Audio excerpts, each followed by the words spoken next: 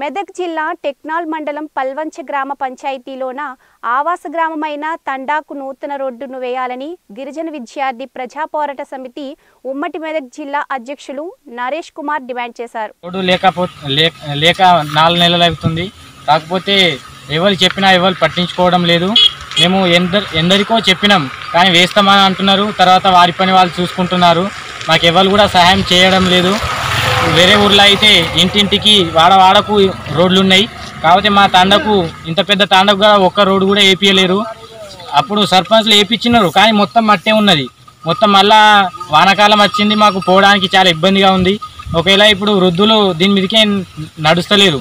ఒకవేళ వాళ్ళు నడిచినా ఎక్కడో పడిపోయే అవకాశం కూడా ఉంది. ఇప్పుడు గర్భిణీ స్త్రీలు వచ్చినచో వాళ్ళు వాళ్ళకు అంబులెన్స్ ఇంటి దాకా రాదు.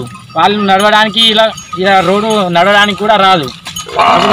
చాలా ఇబ్బందిగా ఉన్నది మాకు. ఎవరు చెప్పినా ఎవరు పట్టించుకోవడం లేదు. అదే ఎలక్షన్ అప్పుడు వస్తే వాళ్ళు వాళ్ళు వస్తు- వస్తారు మాకు మాకు ఓట్లు వేయండి మేము అది చేస్తాం ఇది చేస్తామని అంటారు. కానీ వారి పని వాళ్ళే చేసుకుంటారు. అదే ప్రచారం చేసేటప్పుడు చేసే పనులు ఇప్పుడు ఎందుకు చెప్పరు మాకు? మేము ఏమన్నా మేము మాకు కూడా ఒక తాండాలు ఉన్నాయి కదా. మేము ఓట్లు వేస్తలేమా? మాకు ఎవరన్నా చెప్తే ఎందరికో చెప్పినాం కానీ ఎవరు కూడా పట్టించుకోవడం లేదు. అట్లా మేము వేరే ఊరికి అయితే వేస్తారు కానీ మాకెందుకు వేయరు? మాకు వెంటనే బీటీ రోడ్ శాంక్షన్ చేయాలని కోరుకుంటున్నాం.